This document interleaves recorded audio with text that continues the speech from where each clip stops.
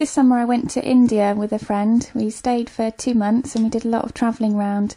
In general, it was a really good experience to meet the people and see how they live and see the different cultures and the clothing and the food, just generally see how everyone in India lives.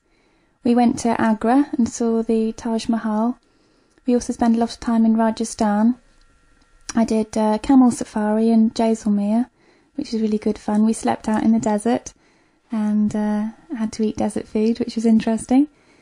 We wished to go down to Goa, but it was too far really, so we didn't get that far because it takes so long to travel on the trains and buses, which are quite an experience in themselves really.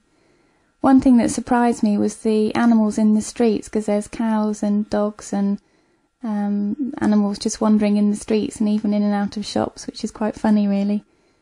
I did um, an elephant safari, which was really good fun, all a bit uncomfortable, sat on top of an elephant. Uh, it was quite amusing when they when the elephant took a banana from the stall, and the, the woman on the fruit stall was very cross and tried to persuade us to pay for it, but uh, we couldn't obviously get off our elephant to do that. So altogether, had a really good time in India. I'd like to go back sometime.